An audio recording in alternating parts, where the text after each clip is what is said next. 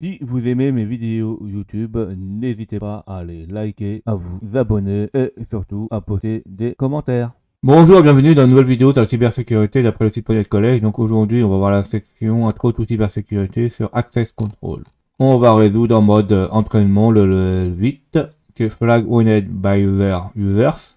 Et une fois celui-ci résolu, vous pouvez le résoudre en mode normal pour avoir le bon flag. Je clique sur Practice. Je me connecte en Shell avec SSH, nom utilisateur hacker ainsi que le nom de domaine dojo.pwn.college. J'exécute challenge run pour avoir la description ainsi que les modifications euh, faites sur le système d'exploitation. Donc ici, qu'est-ce qu'on nous raconte?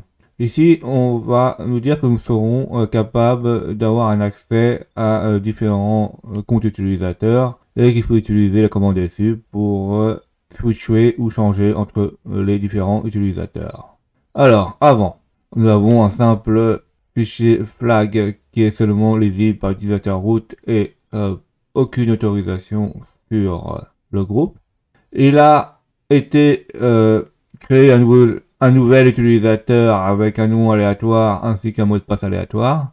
Et on voit que le nom utilisateur a été appliqué sur le fichier flag en mode lecture et que rien, rien qui a été fait sur le groupe.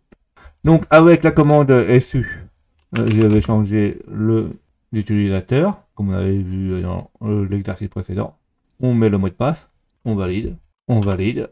Donc là, on voit que le nom utilisateur a été changé. normalement, je peux lire le mot de passe. Donc là, on voit que j'ai bien le mot de passe en mode euh, entraînement. Si vous faites exactement la même chose en mode normal, normalement, vous pouvez avoir le mot de passe. Alors ici, qu'est-ce qu'on a fait? On a euh, compris comment avec la commande SU, comment euh, changer d'utilisateur et avoir ses propres droits qui nous permet de lire le fichier qui lui appartient.